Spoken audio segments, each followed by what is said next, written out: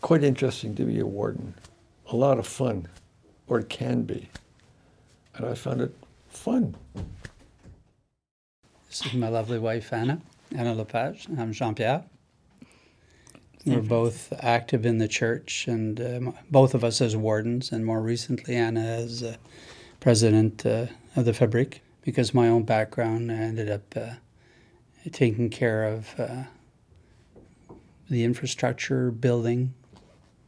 Um, I worked with uh, Mike Hallett and some of the other wardens over the years, Jean Pierre Ossiani. It's a, it's a well built church. It was built in 55, good solid structure. It's like everything else. Uh, needs a little bit of paint, a little attention, just like our homes.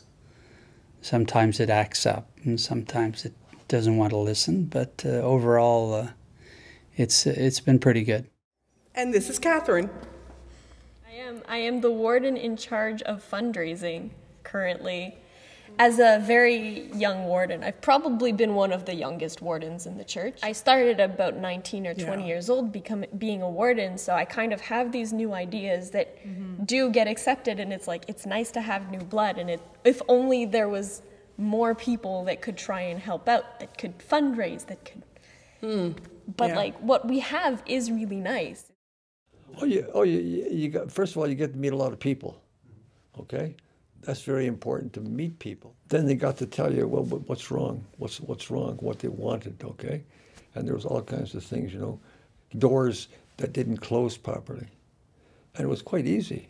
You took a hammer and a big slam of wood and you banged, you banged into the wood and the thing went together and that's it. You nailed it, done. It was easy. It's too bad he still can't be a warden because he really liked it. He It was, really. you know, and, and you got to do things that there was nothing, there was no list of what to do. You're a warden, you're looking after maintenance, okay? But I looked at this and, and I had a lot of free time.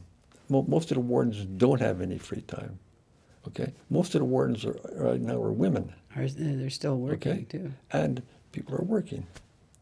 Times have changed, and it's sort of sad to see uh, the church not as full as it used to be, and um, sort of sometimes worry as to where everything's going and how, how things are going to work out.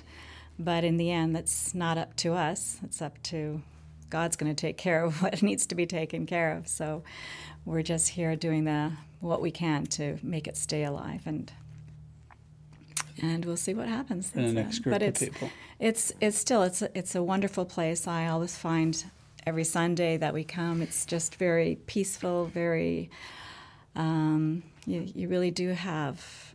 Um, uh, it's it's a wonderful place to strengthen your faith, and you know life has its ups and downs, and sometimes.